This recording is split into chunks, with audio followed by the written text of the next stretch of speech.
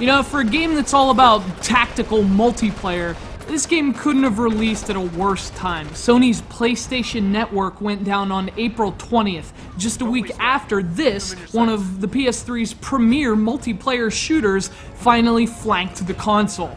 Talk about walking into an ambush. This is SOCOM 4 US Navy SEALs.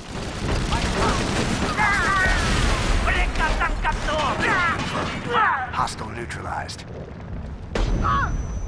So obviously, releasing a game that emphasizes online multiplayer just a week before your console would lose the ability to provide online multiplayer, uh, kind of a buzzkill to say the least. And if there's a reason for the relative lack of hype around SOCOM 4, that's probably it. But don't let all the mixed reviews and the the PSN apocalypse dissuade you. SOCOM 4 is still a decent game, and eventually you'll be able to play it online.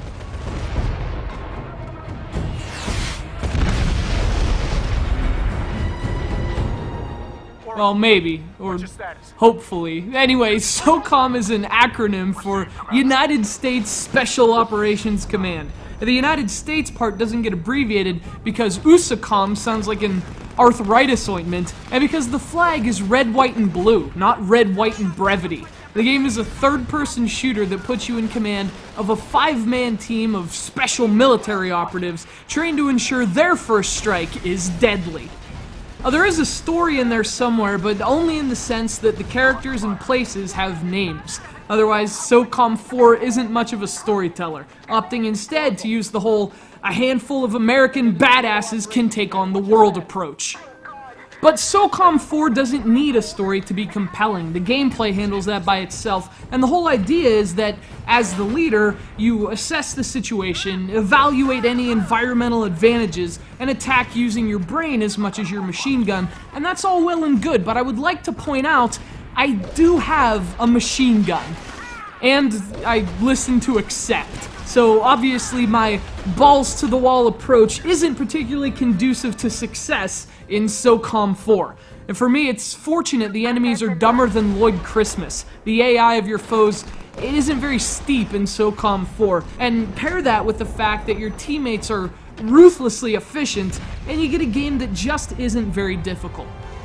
In fact, you can kind of just hang back and let your teammates do all the work for you, which is you know, that's really the way to go should you ever actually find yourself in a vicious cockfight. But in a video game, not so much. Kind of boring, in fact. But unless you crank the difficulty or, you know, battle some human opponents, your tactical attacks won't encounter much resistance.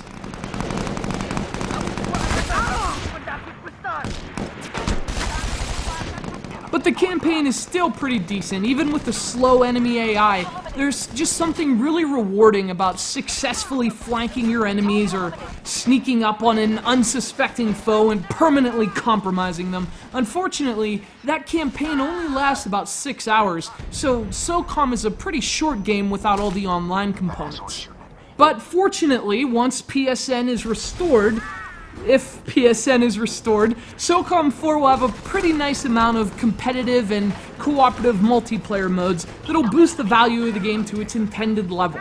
Um, you know, this is a pretty major franchise for Sony, and although it isn't the most impressive looking game in the world, the gameplay does have the polish you'd expect from one of Sony's major franchises. Oh look, this series, it obviously isn't for everyone. For example, based on the gameplay, it certainly isn't for me. But if you're into stealth and tactical games, uh, and you don't mind a very linear, very characterless experience, SOCOM 4 might be a game for you. Fire in the hole!